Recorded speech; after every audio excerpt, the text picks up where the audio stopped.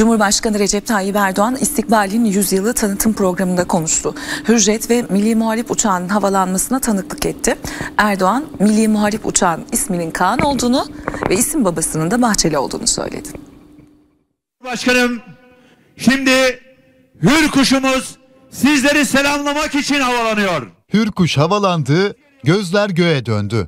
Şu anda Hürjet karşımızda ve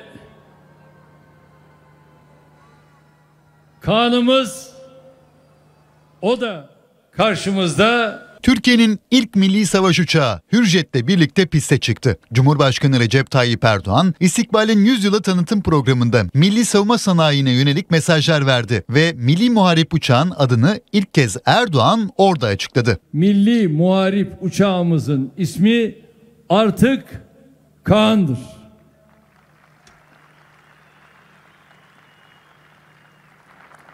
Rabbime bize bu günleri gösterdiği için hamd ediyorum. İsim babası da Devlet Bey'dir. Bugün istikbal diyorum. Kaan işte bu uçağın adıdır. Ana görev sistemlerinin tamamı yerli ve milli olacak. Kaan kendi silahlarımızla, kendi radarımızla, kendi haberleşme, uçuş kontrol ve görev bilgisayarlarımızla donatılacak. Hürjet'ten övgüyle bahseden Erdoğan, uçağın TCG Anadolu gemisinde konuşlandırılacağını duyurdu. İlk jet motorlu süpersonik savaş uçağımız Hürjet, kahraman pilotlarımızı yetiştirecek ve gerektiğinde silahla donatıp harp sahasına da gidebilecek. Hürjet'i inşallah TCG Anadolu gemimize de konuşlandıracağız. Erdoğan, Türk savunma sanayinin geleceğine ilişkin açıklamalar da yaptı.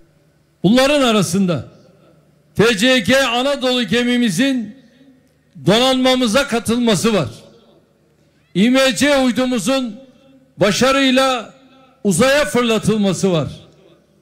Altay tankımızın test için silahlı kuvvetlerimize teslim edilmesi var.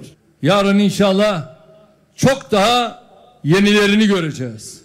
İstikbal'in yüzyılı tanıtım programında ismi açıklanan Kaan'la Hürjet, Atak 2 ve Anka 3 gövde gösterisi gerçekleştirdi. Pilotlar Erdoğan'a kasklarını ve peşlerini takdim etti. Evet pilotlarımız Erdoğan daha sonra pistte Kaan'la buluştu. Gövdesine imzasını attı, ardından da kokpite oturdu. sen bu toprağa inancını daima diri tut. Bu yıl düzenlenen Teknofest etkinlikleri kapsamında Baykar tarafından geliştirilen insansız savaş uçağı Bayraktar Kızıl Elma Solatürk'le birlikte uçuş gerçekleştirildi. Dünyada ilk kez gerçekleştirilen bu uçuşu binlerce vatandaş hayranlıkla izledi. Kızıl Elma ve Solo Türk. İnsansız savaş uçağı Kızıl Elma ile Solo Türk İstanbul semalarında tarihi bir uçuş gerçekleştirdi. Türkiye'nin ilk ve tek havacılık, uzay ve teknoloji festivali Teknofest'te yoğun ilgi devam ediyor. Teknofest'e gelen binlerce insan Kızıl Elma ve Solo Türk'ün kol uçuşu gösterisini büyük bir heyecanla izledi. Nefesleri kesen tarihi uçuş izleyiciler tarafından büyük beğeni topladı.